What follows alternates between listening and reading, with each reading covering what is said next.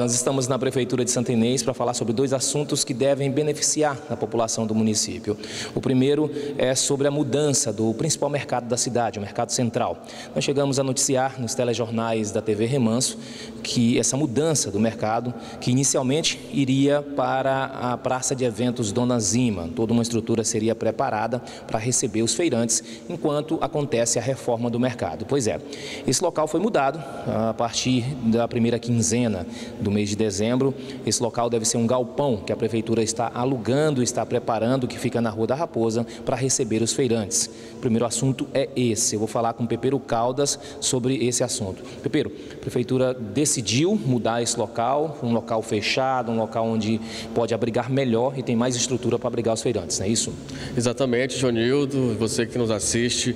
Essa decisão foi tomada em conjunto acordo com os próprios feirantes. E o porquê de sair do Dona Zima para ir para esse depósito na Rua da Raposa, ali no, nas proximidades do Parque da Raposa, porque está chegando o período chuvoso.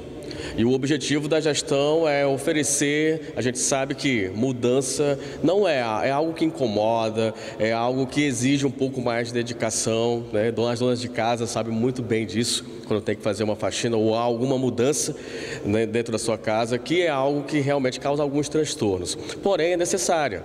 E aí, o, qual o posicionamento? Oferecer o um mínimo de conforto para os feirantes e para os, a população que vá buscar os serviços dos feirantes lá nesse local. Período chuvoso chegando, então uma estrutura que seja coberta para que tenha essa dignidade dos nossos trabalhadores. E essa decisão, repito, foi tomada em conjunto acordo. Foram feitas várias reuniões com cada segmento dos feirantes, o pessoal que trabalha na carne, o pessoal que trabalha com a parte de horticultura. Então, em comum acordo, chegamos a essa conclusão que lá vai ser o melhor local enquanto a obra vai ser concluída. Então, as barracas estão sendo montadas, são mais de 100 barracas que serão alocadas no, lá nesse galpão. Então, assim, tão logo a estrutura esteja disponível para os feirantes, aí a gente vai iniciar essa transferência do mercado central para esse galpão para ficar funcionando provisoriamente. O prazo da obra inicialmente são três meses e a gente, por, por isso que nós queremos celeridade, né? a população merece um trabalho que esse mercado há mais de 20 anos não passava por nenhuma reforma e agora vai ser reconstruído. Então, o prazo de três meses. E aí a gente quer tirar o pessoal para que a obra ocorra com mais tranquilidade, com mais celeridade e segurança para a população e os feirantes, porque não tem como uma obra desse porte ali e deixar o pessoal lá. Né? Então a gente sabe que construção civil tem poeira e outras coisas mais que vai prejudicar a população. Então, tão logo a estrutura esteja concluída, a gente vai fazer esse remanejamento. Obrigado, Pepeiro, pelas informações. Então, só lembrando, já na primeira quinzena de dezembro, o mercado muda para esse galpão na Rua da Raposa, nas proximidades do Parque da Raposa.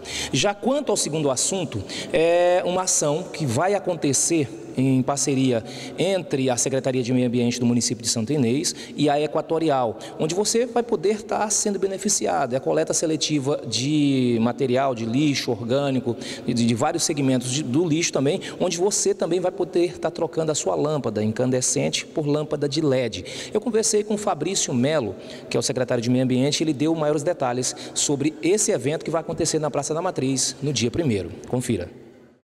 Dia 1 nós estaremos aqui na Praça da Matriz, né, juntamente com a equipe da Equatorial, é, desenvolvendo o programa E Mais Reciclagem. Né? A Equatorial já vem com esse programa né, sendo executado em alguns municípios.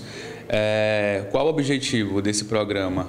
É que, nós, que a população de Santa Inês faça a destinação de material reciclável, seja ele papel, plástico, metal, neste dia para que você consiga aí desconto nas suas contas de energia.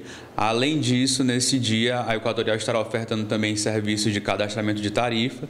É, além disso, você pode também fazer a troca das suas lâmpadas incandescentes e fluorescentes por lâmpadas de LED, até 5 por, por é, conta contrato, certo? Então a gente pede aí à população que nos ajude nessa ação, né, que a gente consiga é, destinar o, o, maior número de material reciclável, né? Então, se você já pratica coleta seletiva na sua casa, é, tente deixar esse material guardado até o dia primeiro e faça destinação com a gente ali no, no stand no dia primeiro na Praça da Matriz.